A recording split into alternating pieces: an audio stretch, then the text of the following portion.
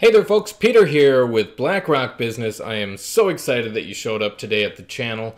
Uh, today we're going to talk about one of our subjects in QuickBooks Point of Sale and that is going to be how to hold a receipt, why you would hold a receipt, how to unhold a receipt, what in the world is this functionality for, right?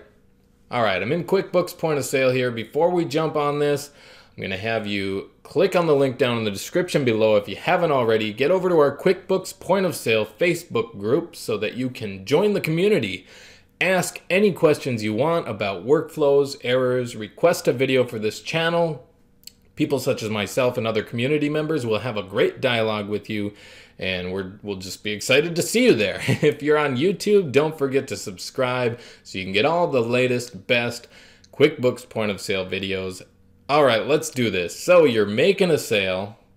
This might be you. This might be your employee, your cashier, whoever. Uh, you are going to, you know, choose some of the products that the person is buying, and then suddenly, uh-oh, they forgot something. Oh, hold on, I'll be right back. Your customer says they're, they're going to leave the counter. They're going to go and find that other thing they were thinking about, and they forgot about it, so they're going to go find it they need to grab some socks or I don't know what it is. Whatever it is, uh, you might have customers from time to time who decide, oh, hold on, we're in the middle of a sale, but I forgot to go and grab something. So what do you do? You have other people behind them in line. Those people need to get checked out too. So uh, you may or may not have already put their name on their receipt. Doesn't really matter.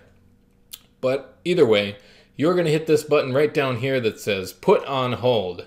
And now you are free to check out the next customer and the next customer and the next customer. But then that customer comes back up.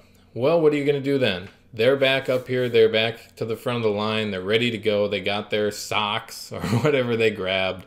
And so you can either go to held receipts right here and find them and uh, with the detail pane over here, uh, there's a button up here where you can show or hide the details so you can see exactly who it is or exactly what the items are. So if you don't have a customer's name on here, you can see what items they were.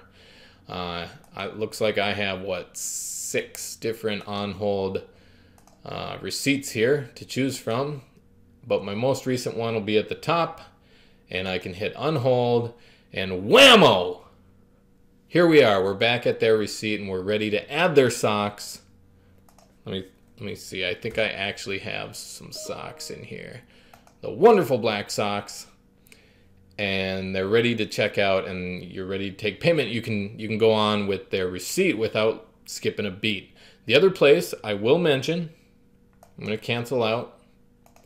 The other place that you can find held receipts is right here on the main screen. You can click held receipts and hit view it'll bring it back to the exact same screen. Now we lost that receipt because I hit cancel and I canceled out of it.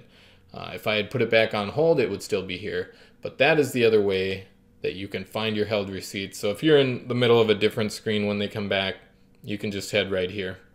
There you go. Now you understand putting receipts on hold for those times when customers leave you and come back. My name's Peter with BlackRock Business. Thanks for coming to the channel today. I hope you have a stupendous day. All right, bye.